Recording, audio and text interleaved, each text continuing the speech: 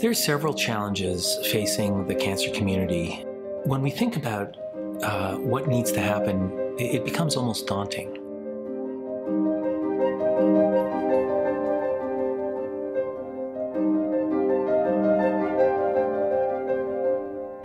Cancer is such a pressing problem, and we need to move so fast because people are dying that collaboration becomes even more imperative. Although collaboration is something that we all talk about, and we all want, and we, all, and we think, uh, boy, if we could just uh, bring these people together, it'd be great. We have to realize that in reality, our system's not set up to collaborate. Our system is set up for individuals to uh, promote their science and therefore advance in, in the field.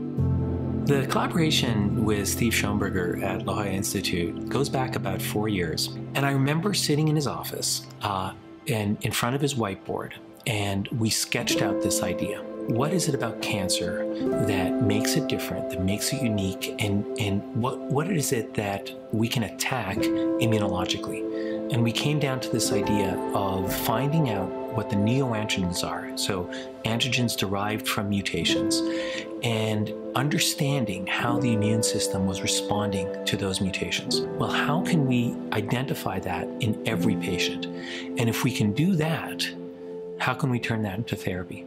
And the therapies became cellular therapies, vaccines, or engineering different types of immune cells uh, to actually attack those specific elements in the cancer. And we've done all of that in a span of four years.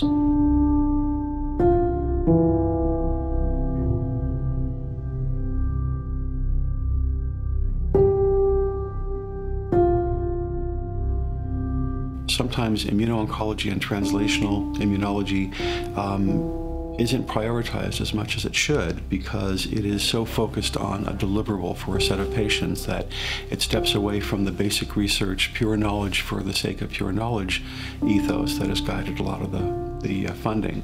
The idea that we could activate the immune system to destroy cancer is, is not new. The, the problem was we didn't understand enough about the immune system. We didn't understand enough about cancer. And we just didn't have effective tools to uh, to understand those mechanisms and to turn those mechanisms into therapies. And there were a lot of skeptics about immunotherapy in the oncology field because there had been so many failures until a few years ago when the checkpoint inhibitors began to show real responses in cancers outside of melanoma. With immunotherapy and checkpoint blockade, you see cures, you see a plateau on the survival curve. That has never happened before, ever. And so the idea that the immune system can do something uh, meaningful and lasting for a patient with cancer is um, the biggest breakthrough to my mind. And the work that I'm doing with Ezra Cohen is seeking to identify the mutations that are being targeted by that successful therapeutic immune response. And then by understanding those to predict them in advance of a patient receiving a therapy and make those neoantigens the basis of a um, immunotherapy, either through vaccines or cellular therapy. It's an enormously exciting time.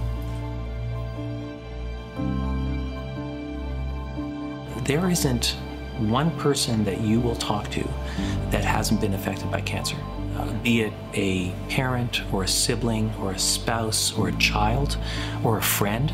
As a society, we should be getting tired of this. Uh, we should be thinking we don't we don't want to live like this anymore. And we have to realize that we have the technology in place now that can turn cancer not only into a chronic disease, but even better than that, uh, into a curable disease.